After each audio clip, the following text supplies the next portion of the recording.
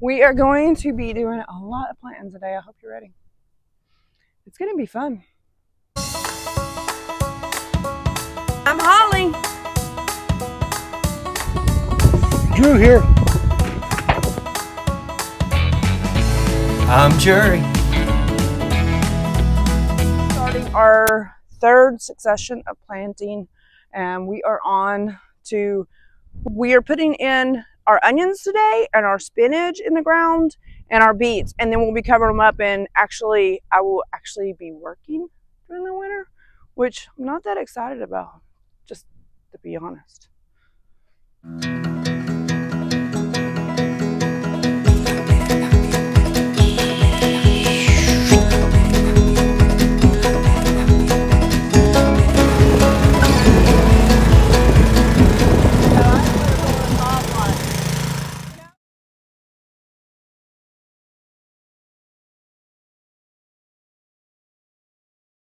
It's best to take them out, separate them up here, so as you're planting them, you're not playing that separation game. That's kind of what Yeah, that's Beets what- will not. Beets and onions. They. I mean, they.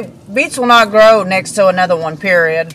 beets and It, beets. it has to have one root per hoe. They was telling compete Andy- against each other. She's got tomatoes that are this tall let me- let me already, turn and this she's off. doesn't know what to do with them. What was it? Tomato plants that are like Mm-hmm. almost two feet tall already, and she's like, "It's too soon to put them in." Blah, blah. You have to It's get 'em in pretty the- much a waste. Really, the thing you could do is if you had a, a po- like a made a little hothouse around them outside, and then oh, as it the Sort of like I did for my dogs yeah. on my back but by the time they get going, spring gets here, they're going to be four. They're all their tall. energy spent. Yeah, Yeah, they'll They've already spent their energy. you know, or every or you know. The, I mean, I don't know. Maybe they'll make it. Maybe they Maybe. would. I wouldn't so. know. I know that in the heat it only won't. Remember, we tried it in the heat. Yeah, they get By the time by the time that Tom got here, they could do something. It was too late. It's too it, late. it already spent its whole time just trying to survive the heat. trying to fight. Oh, Yeah, trying to fight, so- that makes sense. Spent the energy. Mm-hmm.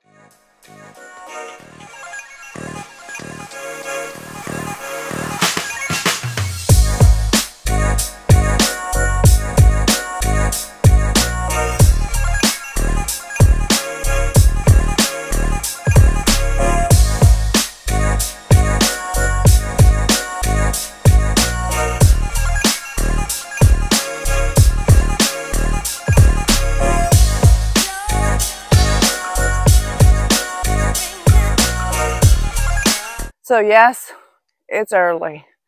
This is the beginning of February. We started yesterday, the 10th of February, and we got some stuff put in the ground. So we we tried to make it. We've tried to make it through the summer, and we have realized that Texas heat is it's impossible. So we decided this year we'd try something different. This year we're going to be trying to make it through the winter and hit the spring market. So let's see if we can do it. Here I have beets. We put those in yesterday. These are actually from November. These were my holdovers that I held because it was just too hot during last year to, to deal with it. So we just held them over and we held those and the spinach and the carrot and a bunch of the carrots. The carrots were actual carrots. It was kind of cool planting those and it made it really easy. I drilled my hole really deep and then I just kind of slid my, my little carrot down in there. And so we're going to see. I'm hoping that we figure something really neat out right here and that we actually end up with the best harvest ever. We're going to see. I don't think it's going to be hard to prove because they love the cold. And if you know anything about spinach and lettuce, the colder it is, the sweeter the lettuce and the spinach is. and let's not forget, Drew put in all the onions. Well, really hard to see. 10 15s is what we planted on the onions. Got quite a few of them in. You never realize when you plant four per thing how uh, you just we got a lot of onions. We got those and we got I believe it's the red onion. Red onion. No special name out of this, but red onion. I don't know what the name is. Oh wait, I remember. It's red Creole. It's so cold I have to double up. It's cold. At least it makes me feel like a nurse again. Doubling up. Well, it's it's cold for us, not for others.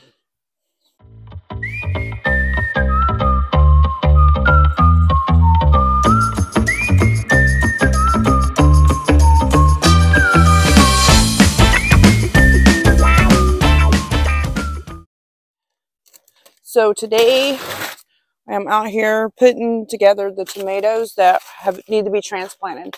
It's too early for them to go in the ground, so we're going to be taking these, which are seedlings, which are planted on December 31st, and so this is how tall they are, and we're taking those and putting them in the four inches so that we can they can get a. I was like, what the heck? We're going to take these out of the cells and we're going to divide them. There's there's about two in each hole and we will take those and divide them up and make um, four inches out of them to give them some more time. If they get where I think that they need to be transplanted again, we'll be going to the one gallons. But we should have a greenhouse by then, Drew.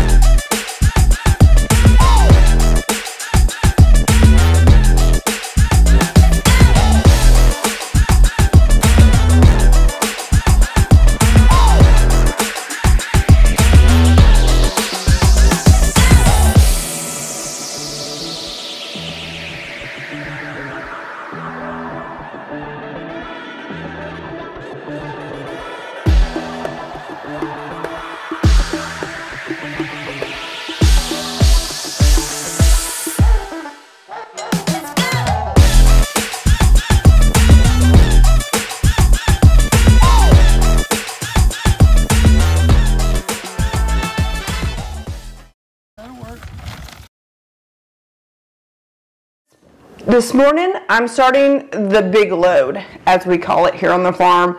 The big load is our cucumbers, our squash, everything else that we haven't done, from herbs to flowers to everything. We're going to start a lot of flats this weekend, but I got to get a list going. I got to get everything so we don't miss a beat and we know exactly what we're putting in.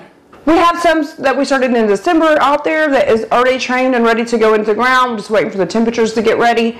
We have trainers outside also as well. So we are on it. Everything's moving along quickly, ready for spring, but life has shown me to take my time and enjoy every bit of it, so I'm in no hurry. I have a lot of work today, including consolidating plants that didn't make it or the tray's half full of ones that halfway made it. Make sure that we don't have too many flats going in and out because it's hard to get them in and out every morning. Train and get them ready to be into the ground. I have some plants also up in the field.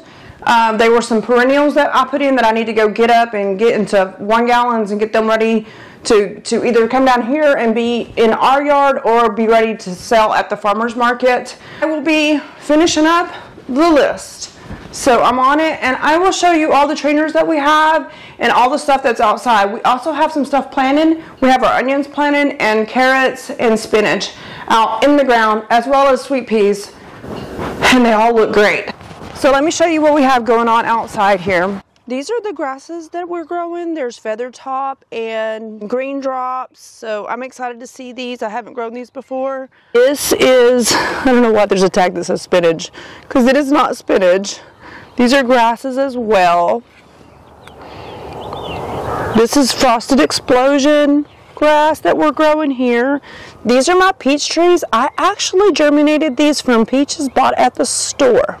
And how I germinated my peaches was I took the the seeds from the store and then I cracked them open, got the seed out, and I put them in the refrigerator for three months. Then I took them out, put them in um, put them in a wet paper towel in a bag in a warm spot, they sprouted, I stuck them in soil, and they germinated. So very excited about that, and I'm to do more next year. I didn't get the greatest germination rate. I planted eight and got three, but I'll take it. It was free seeds. I call them free seeds, but I did pay for the peach. These are our tomatoes. This looks like the new variety. I've lost the tag, but I can tell usually what they are and I will see. These are snaps that look terrible. I'm not even sure what happened to these.